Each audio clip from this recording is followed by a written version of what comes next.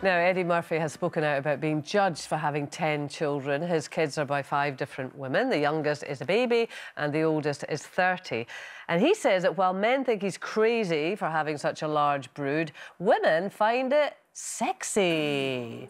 Sexy, Trisha. really? I wonder who he's talking to. Um, I remember I've, I've, I've actually met um, Mr. Murphy. Mr. Murphy. Is he Mr. sexy? Um, holiday in Hawaii, and in those days he was with Melanie Brown and um, Mel B. Mel B. Yeah. And um, um, we were there as well at the same time. Um, he's a an interesting character. Did I find? Do I find a man who's capable of spreading his seed far and wide sexy? Nah. um, I suggest the sexiness for some women might be um, not centre trouser, but to the right. i.e. the hip pocket. I, I mean, that uh, might sound cynical. Oh, really? Yeah. Yeah, but if you are going to have a child with someone who's got loads of money and profile, you know, Yeah, it's interesting. I mean, uh, I think that is more probably his own perception that that's, Oh, that's definitely. what he's hoping it is. I mean, it's, you cannot imagine a woman ever saying the same thing, you know.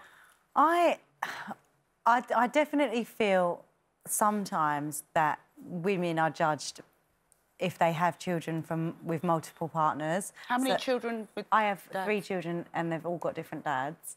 And I definitely, all right, Trish. I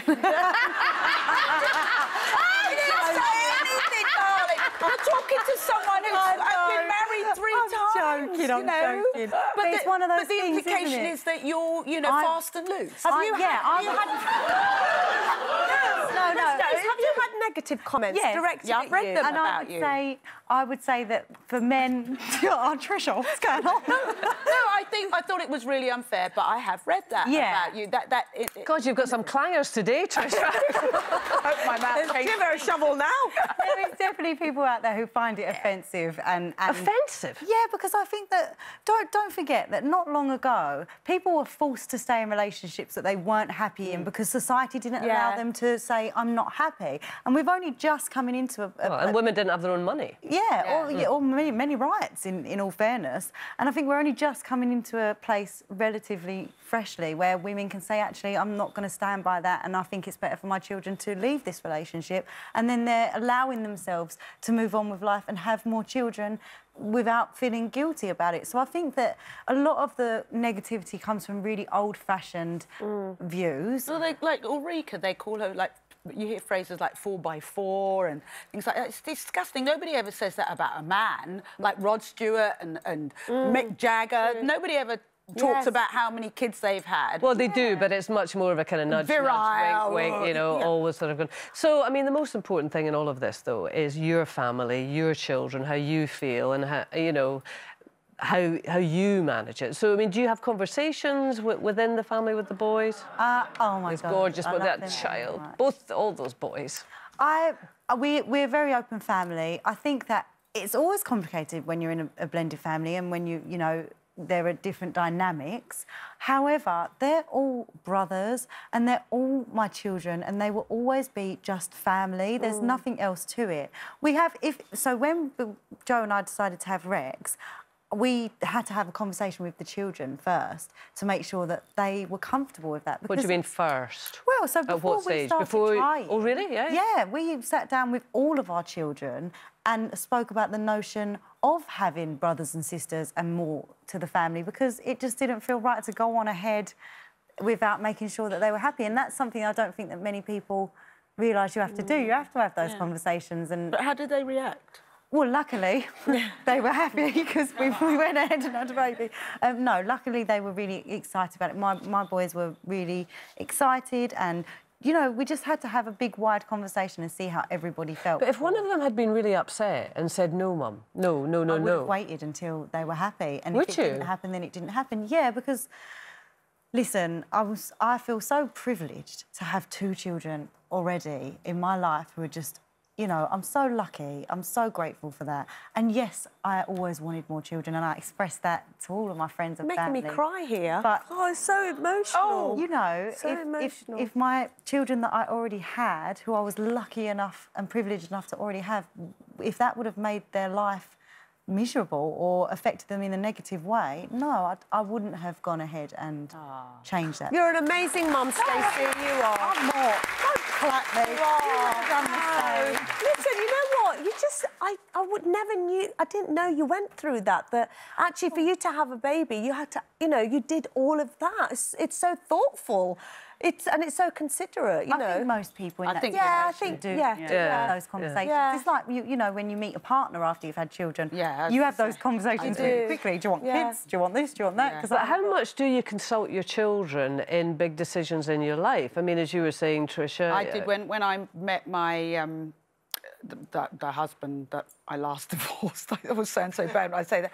Um, when I first met, he asked me to marry him very very quickly, and um, my older daughter Billie would have been about six, I think.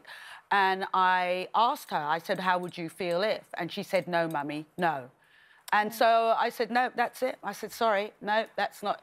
And then he kept on asking. And I feel guilty now in hindsight because I think if you go back and keep asking a child the same thing, they'll, they'll basically say what they. Yeah, they they know that you want them to say. Yeah. And in hindsight, I should have listened to her.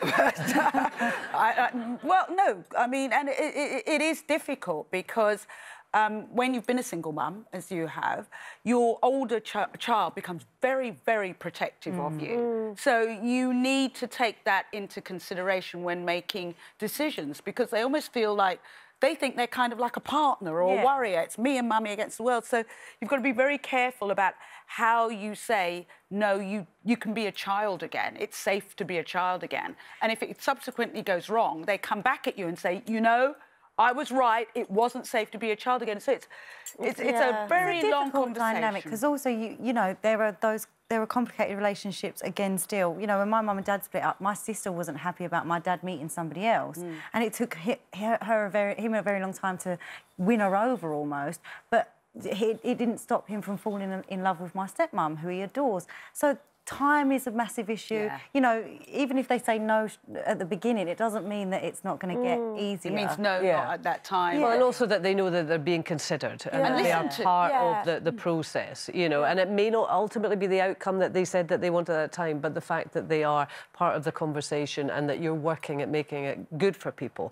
I mean, how much would you Well, well for you, it's more about keeping them the same, isn't it? It is because when, when we decided to adopt Amara, I mean, Zach was two, um, and we were guided very much by our social workers because in this country they've done a lot of analysis on how to bring adopted children into a family and just blend and everything's fine. So we had to ask Zach, well, not ask him, but was like, Zach, we're having a baby sister. only two. And yeah, but he kind of got used to it. But for Steve and I, as parents, I mean, they're both our children, um, and Amara was a you know, she's four days old when I adopted mm. her. But for us, we just want to make sure that at no point in Amara's life sh- will she ever turn round and say, well, of course, you know, of course he's done well because he's your birth child and I'm... He got extra You know, and, and that is the fear that as a parent you always have. And I, and I, and I hope to God it never, ever happens to us because we, we treat them both with so much love. They're, uh, you know, I feel like I've given birth to Amara anyway, but it's, it's you, you are consciously always making sure that you, you keep them the same and, and that they're both equally happy.